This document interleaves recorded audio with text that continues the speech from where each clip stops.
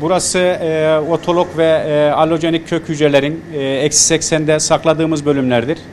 Cihazlarımız eksi 80 ve üzeridir. E, kök hücrenin saklanabilebilmesi için zaten e, sıcaklığın e, eksi 79'dan düşük olması gerekiyor.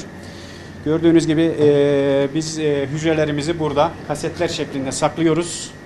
Nakil yapılacağı zaman nakil yapılacağı zaman e, kök hücreler eritelerek hastaya verilmektedir. Bu şekilde hücrelerimiz 5 yıl saklanmaktadır. Burada tankın buhar fazıdır. E, sıvı azotun buhar fazında hücreler saklanmaktadır. Özellikle kordon kanları.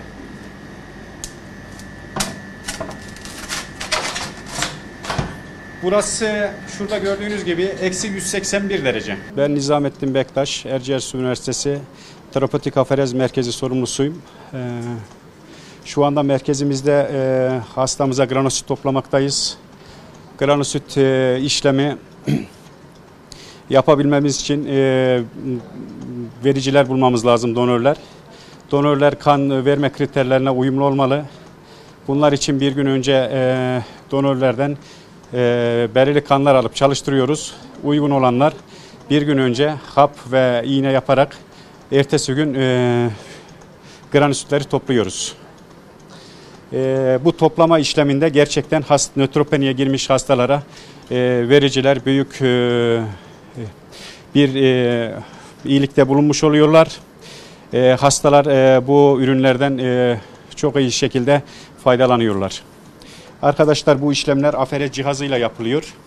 Aferez cihazlarımız e, sürekli akım yöntemiyle çalışarak e, kanı komplementlerine ayırıyor.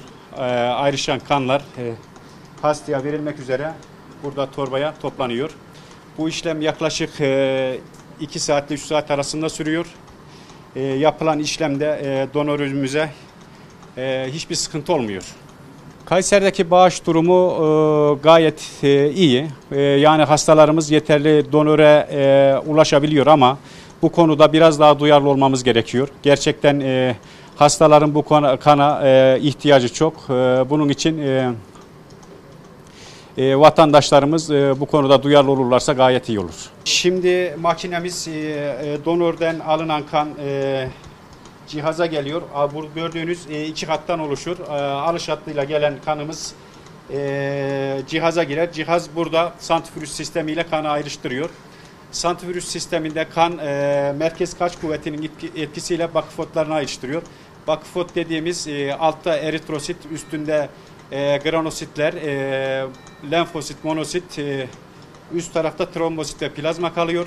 Cihazımız otomatik bilgisayar sistemiyle çalışıyor cihazlarımız e, biz kanın hangi komponentini almak istiyorsak o kısmını alıyor.